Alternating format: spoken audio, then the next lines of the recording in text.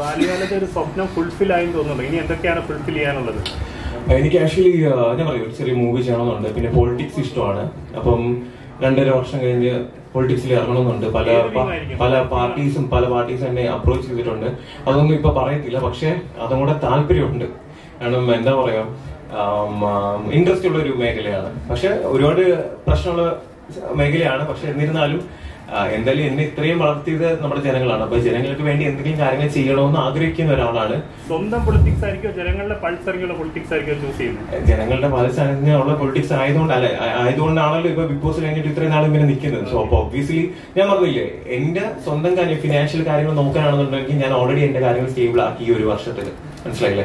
കാരണം ഞാൻ ഒരു ഒരു ലക്ഷം രൂപ മേടിച്ചോണ്ടിരുന്ന ഏഴര വർഷം മേടിച്ചോണ്ടിരുന്ന ഒരു ഡ്യൂട്ടി മെഡിക്കൽ ഓഫീസറാണ് നൈറ്റ് ഡ്യൂട്ടി ചെയ്തിട്ട് കഷ്ടപ്പെട്ടിട്ടാണ് ജോലി ചെയ്തിട്ടുള്ളത് അപ്പൊ ഈ ഒരു വർഷത്തിൽ ഞാൻ എന്താ ചെയ്തതെന്ന് വെച്ച് കഴിഞ്ഞാൽ കംപ്ലീറ്റ് ആയിട്ട് ഇനോഗ്രേഷൻ കാര്യങ്ങൾ ബ്രാൻഡിംഗ് എല്ലാം ചെയ്തിട്ട് ഞാൻ കുറച്ച് എമൗണ്ട് ഫിക്സഡ് ആയിട്ട് ഇട്ടിട്ടുണ്ട്. അതെനിക്ക് അത്യാവശ്യം നമ്മുടെ ഒരു ബേസിക് കാർഡിയോ തൊറാസിക് സർജറി കിട്ടുന്ന സാലറി കിട്ടുന്ന അത്രയും എനിക്ക് എന്ത് ചെയ്യുന്നുണ്ട്? ഇൻട്രസ്റ്റ് കിട്ടുന്നത് അപ്പൊ അതാണ് ഞാനിപ്പോ ആദ്യം സ്റ്റേബിൾ ആയത്. അതുകൊണ്ട് ഇനി നാളെ ഇനി എന്നെ ഈ എന്താ പറയാ പട്ടിണി ഇരുത്താൻ പറ്റില്ല.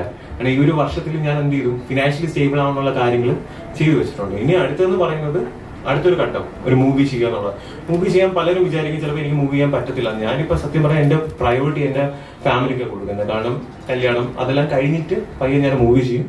അത് കഴിഞ്ഞ് പൊളിറ്റിക്സിൽ ഇറങ്ങും. അധികാരം വേണമെന്നുണ്ട്. അധികാരം വേറെ ഒന്നിനല്ല. മിസ്യൂസ് ചെയ്യാനല്ല.